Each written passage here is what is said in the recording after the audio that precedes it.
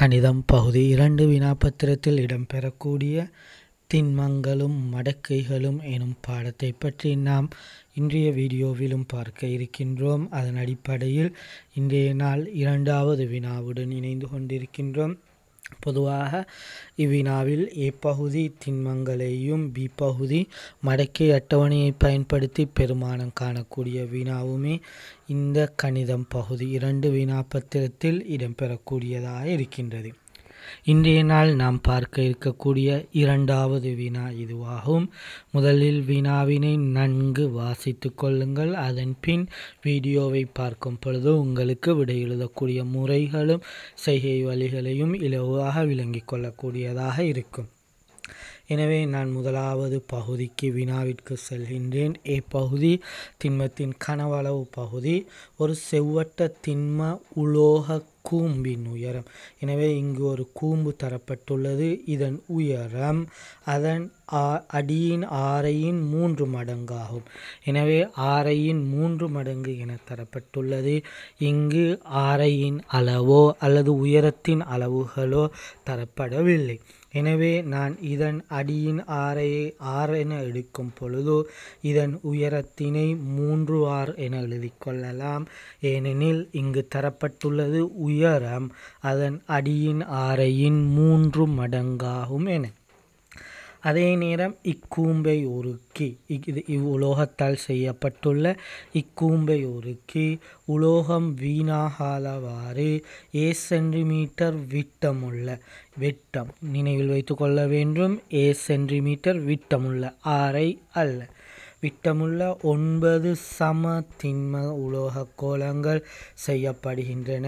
கூம்பின் ஆரை கனமூலம் ஒன்று தசம் ஐந்து ஏ. எனும் கோவையின் மூலம் பெறப்படுகின்றது என காட்டுக. இது வினாவாகும். எனவே முதலில் தரப்பட்டுள்ள உலோக கூம்பினை உருக்கி இங்கு காணப்படுகின்றவாறு ஒன்பது உலோக கோள்கள் செய்யப்படுகின்றன கோலங்கள் செய்யப்படுகின்றன. இங்கு இன்னும் ஒரு தரவு தரப்பட்டுள்ளது உலோகம் வீணாகாதவாறு. கூடுதல் அதிகமாக நாம் செய்யக்கூடிய எல்லா வினாக்களிலுமே இவ்வாறான வசனங்கள் பயன்படுத்தப்படுகின்றன. உலோகம் வீணாகாதவர் உலோகம் வீணாகாதவாறு எனும் பொழுது அர்த்தம் இங்கு காணப்படக்கூடிய இக்கூம்பின் கனவளவும் இந்த ஒன்பது கோலங்களின் கனவளவும் சமன் என்பதாகும். அவ்வாறு உலோகம் வீணாக்கப்பட்டால் கனவளவு சமன் என எடுக்க முடியாது. எனவே இவ்விரண்டினதும் கனவளவுகள் சமன் எனும் முடிவை பயன்படுத்தி நாம் வினாவிற்கான விடையை பெற்றுக்கொள்வோம். எனவே கூம்பின் கனவளவு ஒன்பது கோலங்களின் கனவளவிற்கு சமன். கூம்பின் கனவளவு ஒன்றின் கீழ் மூன்று. அடிப்பரப்பளவு தர உயரம். அடிப்பரப்பளவு வட்டம் என்பதனால் ஃபை ஆர் வர்க்கம் தர உயரம் மூன்று ஆர் எனவே நான் இவ்வாறு மூணிலொரு ஃபை ஆர் வர்க்கம் தர மூணு ஆர் என கூம்பின் கனவளவை எழுதி கொள்ளலாம். அடுத்து ஒன்பது கோலங்களின் கனவளவு ஒரு கோலத்தின் கனவளவு நாலின் கீழ் மூன்று ஃபை ஆர் கணமாகும் எனவே நாலின் கீழ் மூன்று தர ஃபை தர கோலம் ஒன்றின் ஆறு. இங்கு தரப்பட்டுள்ளது ஏ விட்டமுள்ள கோலமாகும். கோலத்தின் விட்டம் ஏ ஆயின் அதன் ஆரை விட்டத்தின் அரைவாசி ஆகும். எனவே நாம் ஆரையை ஏயின் கீழ் இரண்டு என எழுதி கொள்ளலாம். ஏயின் கீழ் இரண்டின் கணம். ஏனெனில் கோலத்தின் கனவளவுக்கு சமன்பாடு நாலின் கீழ் மூன்று ஃபை ஆர் கணம். எனவே ஆரைக்கு ஏயின் கீழ் ரெண்டு முழுவதும் காணும். நான் இங்கு இவ்வாறு கூமிங் கனவளவை எழுதும் பொழுது சமன்பாட்டிற்கு இடது பக்கத்தில் மூன்றையும் மூன்றையும் இவ்வாறு வெட்டி கொள்ளலாம் சுருக்கி கொள்ளலாம். நாம் முடிந்தளவு சுருக்கி கொள்ளும் பொழுது வினாவை செய்வது இலகுவாகும். இல்லாவிடையும் பெரியதொரு கோவை பெறப்படும் பொழுது சற்று தடுமாறக்கூடிய சந்தர்ப்பம் ஏற்படும். அதே போன்று இதில் ஃபையையும் வலது பக்கத்தில் சமன்பாட்டில் வலது இடது பக்கத்தில் உள்ள ஃபை இரண்டையும் இவ்வாறும் வெட்டி கொள்ளலாம். இவ்வாறும் நாம் சுருக்கி கொள்ளலாம் என்பதை நினைவில் வைத்து கொள்ளுங்கள். அடுத்து வலதுபுறமாக உள்ள மூன்றையும் ஒன்பதையும் சுருக்கிக் கொள்ளலாம். ஒன்பதினுள் மூன்றுகள் மூன்று முறை ஆகும் இங்கு நாம் ஃபையிற்கு இருபத்தி இரண்டின் கீழ் ஏழு என எழுத வேண்டிய அவசியம் இல்லை. ஏனெனில் வினாவில் அது பற்றி கூறப்படவும் இல்லை. அடுத்து இரண்டு பக்கங்களிலும் ஃபைவ் வெட்டுப்படுவதனால் நாம் அவ்வாறு எழுத வேண்டிய அவசியம் இல்லை எனவே தற்பொழுது நாம் இதனை சுருக்கி கொள்ளலாம். உங்களுக்கு அவ்வாறு சுருக்கும் பொழுது நான் இதனை இவ்வாறு சுருக்குகின்றேன். சமன்பாட்டின் இடது புறமாக இதில் சுருக்குகின்ற பொழுது ஆறு வர்க்கமும் ஆறும் காணப்படுகின்றது. எனவே ஆறு வர்க்கத்தினையும் ஆறையும் நான் பெருக்கலாம். ஆறு வர்க்கத்தினையும் ஆறையும் பெருக்கும் பொழுது ஆர் கணம் என எழுதி கொள்ளலாம். இங்கால வலது பக்கம் சமன்பாட்டிற்கு வலது புறத்தை நீங்கள் அவதானிக்கக்கூடிய நேரத்தில் காணப்படக்கூடியது. மூணையும் நாளையும் பெருக்கி கொள்ளலாம். மூணாலு பன்னிரண்டு ஏயின் கீழ் ரெண்டு முழுவதின் கணத்தை நான் இவ்வாறு விரித்தெழுதுகின்றேன். ஏயின் கீழ் இரண்டு தர ஏயின் கீழ் இரண்டு தர ஏயின் கீழ் இரண்டு என மூன்று முறை எழுதி கொள்கின்றேன். அவ்வாறு எழுதும் பொழுது சுருக்குதல் கொஞ்சம் இலகுவாக இருக்கும். சில மாணவர்கள் ஏயின் கீழ் ரெண்டு முழுவதின் கணத்தை எழுதி சுருக்கும் பொழுது பிழை விடக்கூடிய வாய்ப்புகள் கூடவாக உள்ளது. இவ்வாறு எழுதும் பொழுது பன்னிரெண்டையும் இரண்டையும் சுருக்கி கொள்ளலாம். இவ்வாறு இரண்டையும் ப இரண்டையும் பன்னிரெண்டையும் சுருக்கி கொள்ளலாம். எனவே பன்னிரெண்டினுள் நான்குகள் மூன்று முறை என நான் இவ்வாறு எழுதி அதாவது இரண்டும் கீழுள்ள இரண்டும் இரண்டும். மீண்டும் பார்த்து கொள்ளுங்கள். இந்த இரண்டும் இரண்டும் நான் தற்பொழுது வெட்டியிருக்கக்கூடிய இரண்டையும் இரண்டையும் பெருக்கினால் நாலு. எனவே கீழே நான்கு வெட்டுப்பட்டிருப்பன. இரண்டுகள் இருமுறை வெட்டுப்பட்டதனால் மேலேயும் பன்னெண்டு இரண்டால் பிரித்தால் ஆறு அதனை இன்னும் ஒரு இரண்டால் பிரிக்கிறேன். மூன்று என எழுதி கொள்ளலாம். எனவே நாம் மேலே உள்ள கணியங்களை பெருக்கும் பட்சத்தில் இங்கே காணப்படக்கூடிய மேலே உள்ள கணியங்களை பெருக்குகின்ற பொழுது உங்களுக்கு மூன்று ஏக்கணத்தின் கீழ் இரண்டு என பெறப்படும். ஏனெனில் இங்கு ஒரே ஒரு இரண்டு மாத்திரம் மீதமாக உள்ளது. எனவே இந்த மூன்று ஏகளையும் பெருக்கும் பொழுது ஏக்கணம் எனவும் கீழே இவ்வாறு மீதமாக உள்ள இவ்விரண்டும் இடம்பெறும். எனவே ஆர்கணம் சமன் மூன்று ஏக்கணத்தின் கீழ் இரண்டு. ஆனால் ஆர்கணம் சமன் இங்கு வினாவில் தரப்பட்டுள்ள விடையை அவதானித்து நாம் சுருக்கிக் கொள்ள வேண்டும்.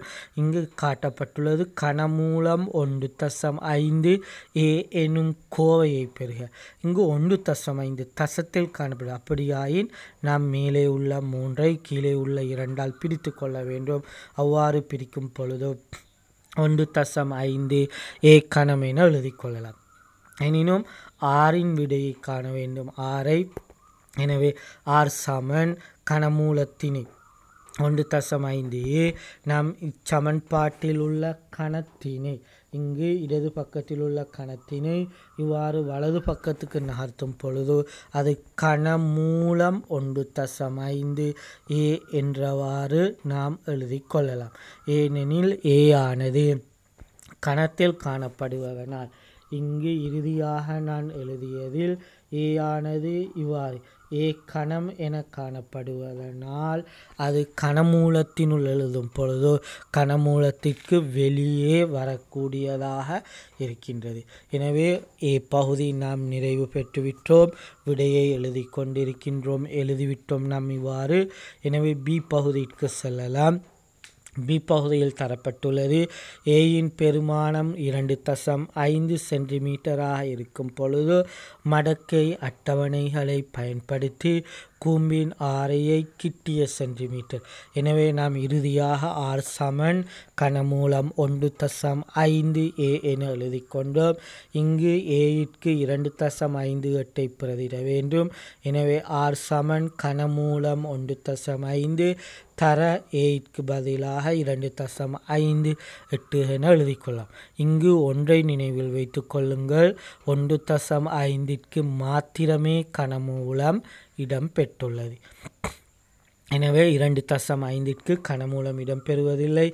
மடக்கையில் எழுதும் பொழுதும் மடக்கை எடுக்க வேண்டும் இரு பக்கமும். எனவே எல்ஜிஆர் சமன் கனமூலத்தினை நாம் இவ்வாறு எழுதி கொள்ளலாம். மூன்றில் ஒரு எல்ஜி ஒன்று தசம் ஐந்து பெருக்கல் என்பதனால் கூட்டலாக மாற்றிக்கொள்ள வேண்டும்.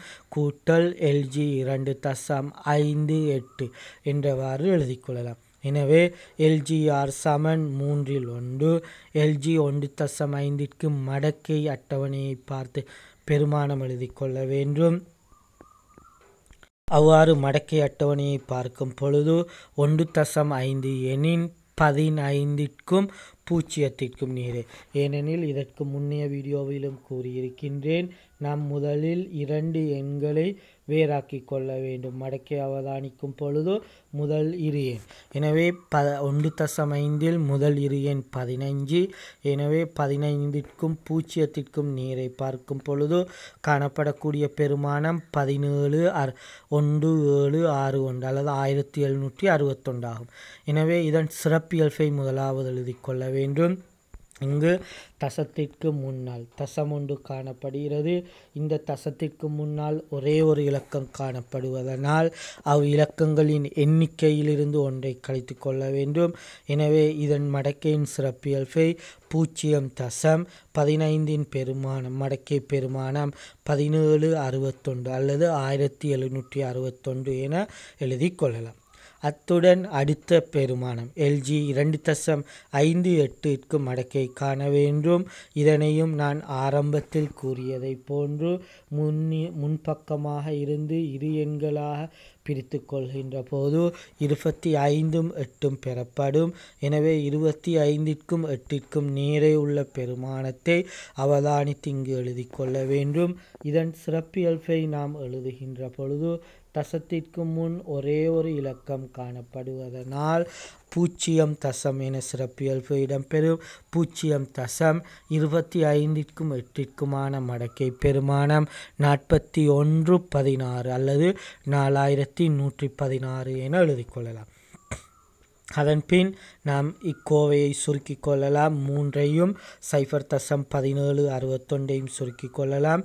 எனவே சைஃபர் தசம் பதினேழு அறுபத்தொன்றினுள் மூன்றுகள் சைஃபர் தசம் சைஃபர் ஐந்து எட்டு ஏழு முறையாகும். அத்துடன் நாலு சைஃபர் தசம் நாலு ஒன்று ஒன்று ஆறினை கூட்டிக் கொள்ள வேண்டும். அவ்வாறு கூட்டும் பொழுது சைஃபர் தசம் நாலு ஏழு சைஃபர் மூன்று என பெறப்படும்.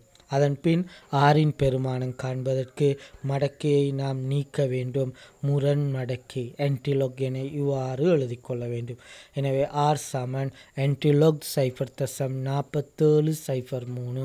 எனவே நாற்பத்தேழு சைஃபர் மூன்றிற்கு முரண் மடக்கை காண வேண்டும். முரண் மடக்கை எனும் பொழுது நாம் மடக்கை அட்டவணையில் இப்பெருமானத்தை தேட வேண்டும். முதலில் நாளில் தொடங்கக்கூடிய தொகுதியை நீங்கள் எடுத்துக்கொள்ளுங்கள். அதன் பின் அதில் தேடிக்கொண்டு செல்லும் பொழுதோ நாற்பத்தி ஏழு சைஃபர் மூணு எனும் பெருமானம் இல்லை. அதைவிட குறைந்த பெருமானம் நாற்பத்தாறு தொண்ணூத்தெட்டும். அதைவிட சற்று கூடிய பெருமானம் நாற்பத்தேழு பதிமூணும் காணப்படுகின்றது.